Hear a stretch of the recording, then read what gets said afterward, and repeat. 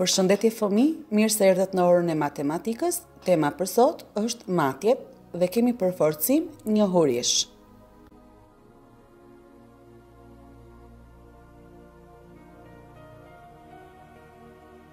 Le të shohim disa nga rezultatet e të nxënit për temën e sotme. Krahason peshat duke përdorur njësitë standarde 100 gram, kilogram dhe litër.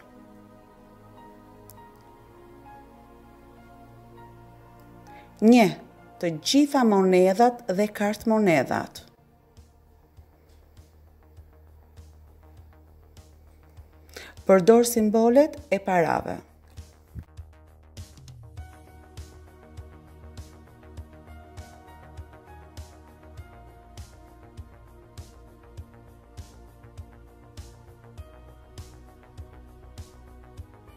Hapim librat në faqen 146, marrim lapsin në dorë dhe gomën.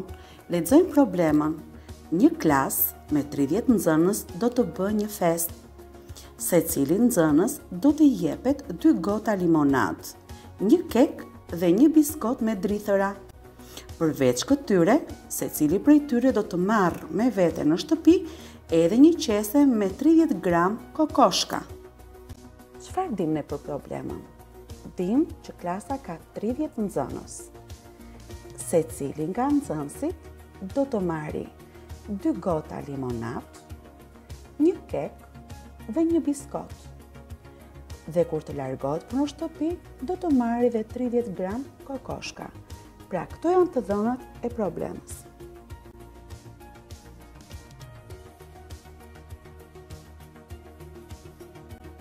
Shiko me vëmendje secilën recetë dhe plotëso tabelën përkatëse. Disa i ke gati. Receta për kekun. Me këtë recetë bëhen 6 kekë të vegjël. Ne na nevojiten për të realizuar recetën një vezë, 100 gram miell, 100 gram gjalpë dhe 100 gram sheqer. Le t'i hedhim një sy tabelës Tabela është e ndarë në një detar tre pjesësh. Në kolonën e parë kemi emrin e emri i artikullit, sasia për 6 nxënës dhe sasia për 30 nxënës. Ne thamë që për të realizuar sasinë e kekëve, na nevojitet vezë një kokërr, por ne kemi 30 nxënës. Kjo recetë është për 6 nxënës, meqenëse klasa ka 30 nxënës,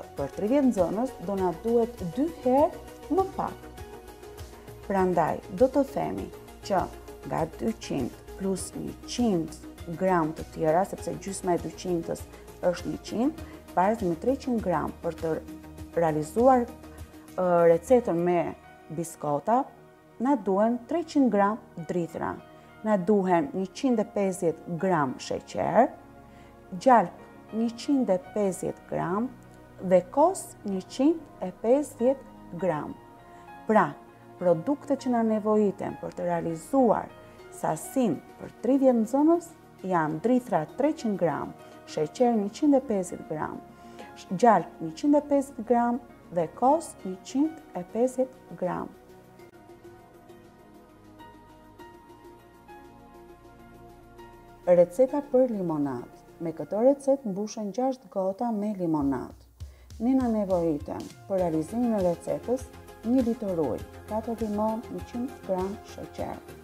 Meqenëse çdo nxënës merr 2 gota, kjo recetë është e mjaftueshme për 3 nxënës.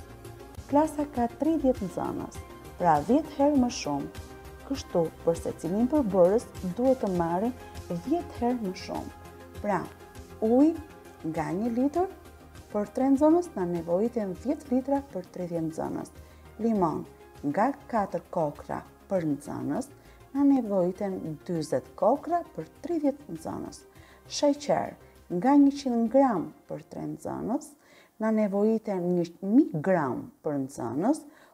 Ose ndryshe themi që një mijë gram janë të barabartë me një kilogram, pra na nevojitet ndryshe një kilogram sheqer, ose një mijë gram sheqer. Pra, produktet përfundimtare dhe sasia përfundimtare për realizimin e recetës për 30 nxënës janë ujë 10 litra, limon 20 kokrra, sheqer 1000 gram ose 1 kg gram.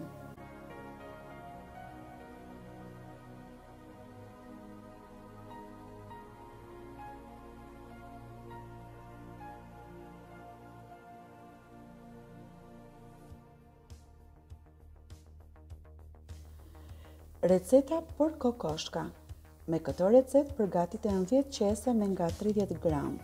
Për realizimin e recetës na nevojiten 10 gram gjalp, 300 gram misër. Me këtë recetë marrin 10 nxënës, por klasa ka 30 nxënës që do të thotë se sasia e përbërësve për të gjithë klasën duhet të jetë 3 herë më e madhe. Pra, gjalp 30 gram, misër 900 gram.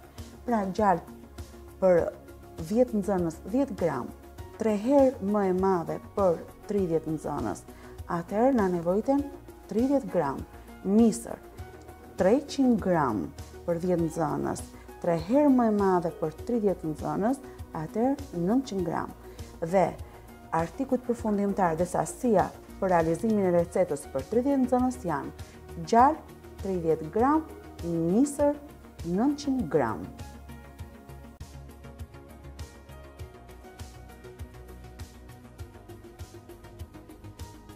Plotëso në tabelë sasinë e artikujve që të duhen për festën, dy të parat i ke gati.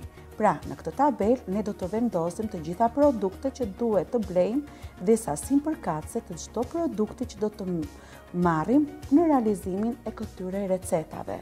Le të shikojmë me radhë.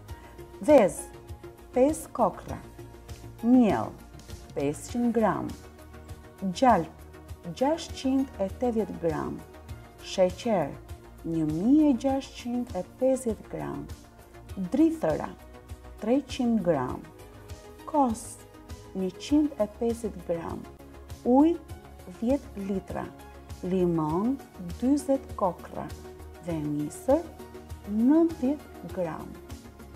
Pra, unë kam mbledhur të gjitha vlerat e sasisë së miellit që kam përdorur në të gjitha recetat e mia.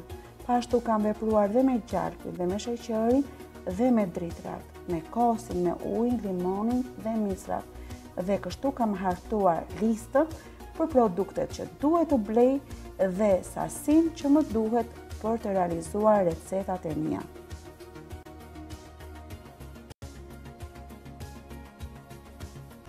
Zgjidh njërën nga recetat e faqes 146 dhe përpiqu të gjesh sa do të kushtojë përgatitja e saj duke përdorur çmimet e mëposhtme. Le të shikojmë tabelën e artikullit dhe të çmimeve.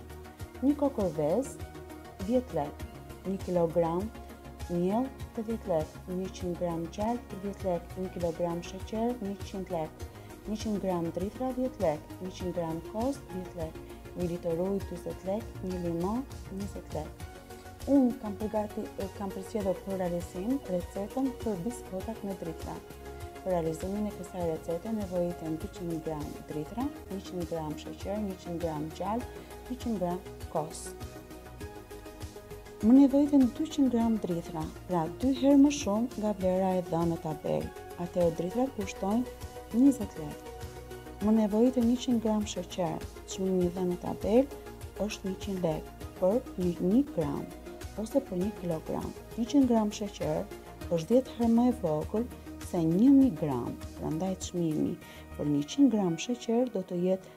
Dhjetë herë më i vogël.